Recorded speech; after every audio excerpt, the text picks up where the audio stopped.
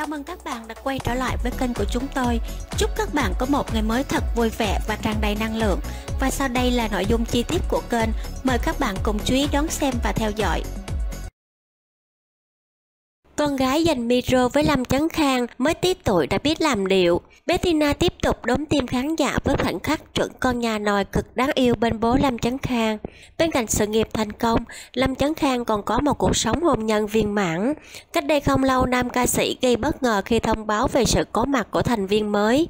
Bettina Bồi được bố mẹ giấu kín từ lúc còn trong bụng, đến khi cứng cáp công khai, hình ảnh về nhóc tì nhận được sự quan tâm của đông đảo khán giả.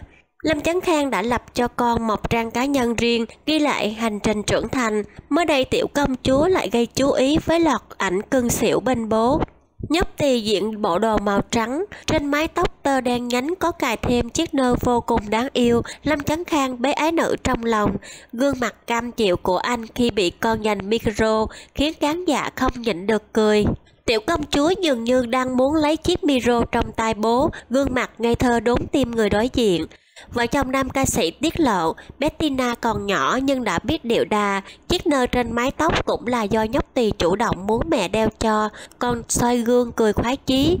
Con gái em bữa nay điệu giả mang luôn, thấy mẹ cài tay thỏ bắt mẹ cho cài rồi nhìn kính cười khoái chí. Ha ha chịu nè. Lớn xíu mẹ cho bận đồ đôi ngang con gái yêu. Gia đình lâm chấn khang viết Bettina khi còn nhỏ đã rất chăm chút trang phục theo dõi tiểu công chúa nhà Lâm Chấn Khang đã lâu, khán giả xích so không ngớt trước khoảnh khắc đáng yêu này. Bettina thừa hưởng nhiều nét đẹp từ đấng sinh thành, càng lớn càng cứng cáp và dễ thương. Có bố là ca sĩ, nên nhóc tì tỏ ra thích thú khi được cầm chiếc micro, được dự đoán tương lai nói nghiệp bố. Một số bình luận liên quan, dễ thương quá, Tina lớn lên cũng làm ca sĩ giống ba nhé, nhìn cưng quá, hai cái má bánh bao phúng phính nhìn chỉ muốn nựng thôi à.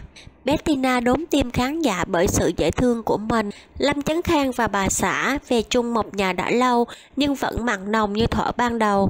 Trải qua ba lần sinh nở bận rộn với công việc, nhưng nhan sắc xinh đẹp trẻ trung của vợ nam ca sĩ khiến dân tình nhiều lần phải suýt so.